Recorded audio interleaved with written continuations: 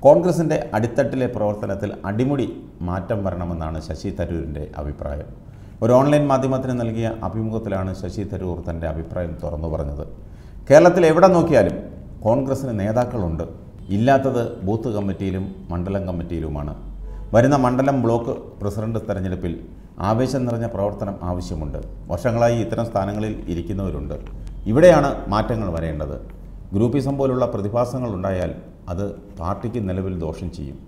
എയുമല്ല ഐയുമല്ല ആണ് വേണ്ടത്. നിലവിലുള്ള നേതൃത്വത്തിന് ആരെയും പിണക്കാതെ മുന്നോട്ട് കൊണ്ടുപോകാനുള്ള ഉത്തരവാദിത്തമുണ്ട്. താഴെത്തട്ടിലുള്ള ജനങ്ങൾക്ക് തോന്നണം പാർട്ടി അവരുടേതാണെന്ന്. അത്തരത്തിലുള്ള ഒരു മാറ്റമാണ് വേണ്ടത്. രണ്ട് തവണ തോറ്റു എന്ന് പറഞ്ഞ് പാർട്ടിയെ തള്ളിക്കളയരുത്. കെ സുധാകരനെതിരെ പരാതി നൽകിയിട്ടില്ല. നിലവിൽ നേതൃത്വത്തിന് എല്ലാ പിന്തുണയും നൽകേണ്ടതുണ്ട്.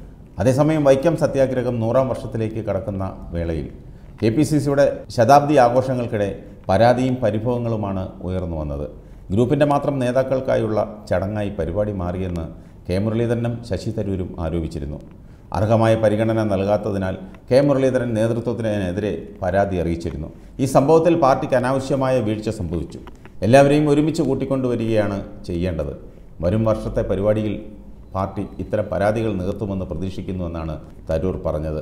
വൈക്കത്ത് എ ഐ ഗ്രൂപ്പുകൾക്ക് മതിയായി പരിഗണന കിട്ടിയപ്പോൾ പ്രത്യേക ആവശ്യപ്രകാരം സമ്മേളനത്തിനെത്തിയ ശശി തരൂരിന് പോലും പ്രസംഗിക്കാൻ അവസരം കിട്ടിയില്ല.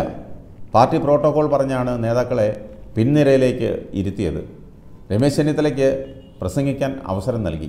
കെ പി സി സി മുൻ അധ്യക്ഷൻ എന്ന മാനദണ്ഡത്തിലാണ് ചെന്നിത്തലയെ പ്രസംഗിപ്പിച്ചത്. എന്നാൽ താനും മുൻ കെ പി സി സി അധ്യക്ഷനാണെന്ന പരാതിയാണ് കെ മുരളീധരൻ ഉന്നയിച്ചത്. കെ പി സി സിയുടെ പ്രവർത്തന രീതിക്കെതിരെ വീണ്ടും കോൺഗ്രസ് എം പിമാർ ഹൈക്കമാൻഡിന് പരാതി നൽകുമെന്നും റിപ്പോർട്ടുണ്ട്. സുതാര്യമില്ലാത്ത തരത്തിൽ കെ പി സി സി പ്രവർത്തിക്കുന്നുവെന്നാണ് അവരുടെ ആക്ഷേപം. വൈക്കം സത്യാഗ്രഹ പരിപാടിയിൽ വിവാദങ്ങൾക്ക് കാരണമായത് പാർട്ടിക്ക് തിരിച്ചടിയായി.